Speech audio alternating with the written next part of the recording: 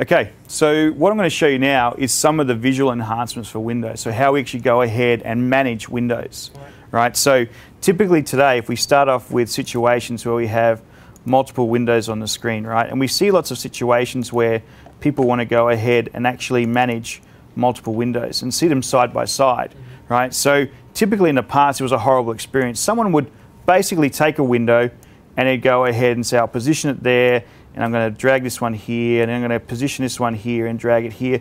And essentially, the, the experience was so convoluted that users just couldn't maximize their screen real estate. And as we start doing more with our PCs, we want to maximize, right? We want to be able to use it.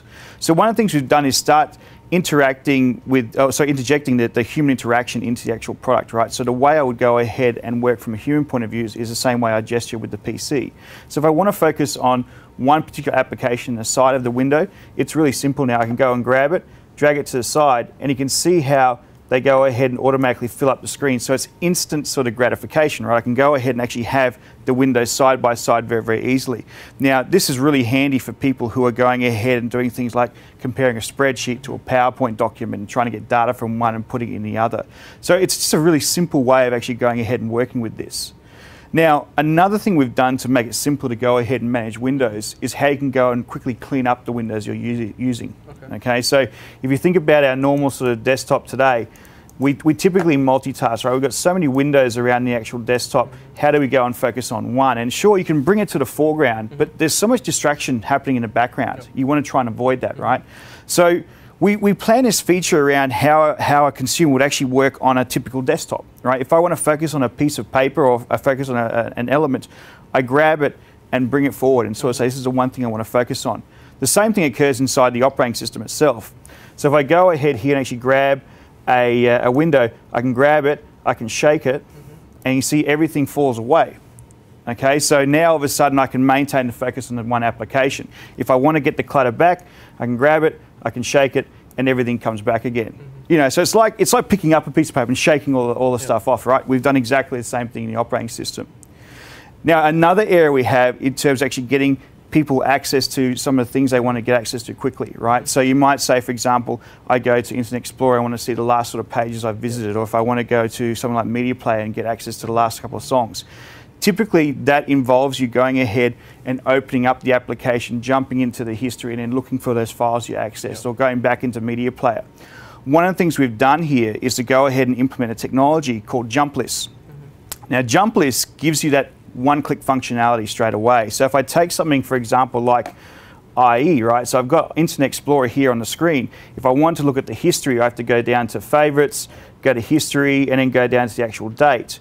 Now, an easy way of doing this is to actually go ahead and go down to the actual icon down the bottom in the corner here and right click on it.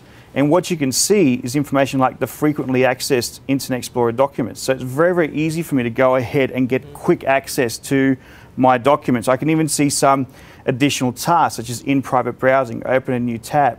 So this gives me that quick access to functionality. If we do the same thing, for example, for Media Player, I can see the frequency, frequently accessed data, like you know, files, movies, whatever. It just simplifies the process for the average user, right? We don't want a situation where the user has to navigate all around the PC to find that piece of content. If they access it frequently enough, we'll make it easily accessed from the actual machine itself, from the actual application. So simplification is a big part of what we actually do. Okay. The, the last sort of thing I want to show in terms of actually managing uh, your windows and managing the, the, the taskbar this taskbar in Windows 7 has been greatly optimized to make sure it works the way you want. Now, the taskbar is not really new when you look at it, yeah. right? You've had in XP, you had in Vista, and you can go ahead and put shortcuts. Mm-hmm. The difficulty with the technology in the past was that you were kind of stuck with a first in, last out type scenario, right? If I put a shortcut, it would go to the end. I put another shortcut, it would go to the end. If I want to organize it, I have to go ahead and take everything out, reorganize it. And that was painful for people. So to make it really simple, what we've done is we allow the user to go ahead and actually pin applications to that taskbar. So if I take something like the calculator, for example, I can right click on the calculator and say pin to taskbar and click on that and you'll see it appear down the bottom here. Now if I want to go and reorganize the taskbar on the fly, it's a simple case of grabbing the icon and actually dragging it to the position I want. So now I don't have to go to any sort of complex customization area and say, okay, this one should go here, and this should move up, and this should move down. It's basically I grab it, I drag it, I drop it.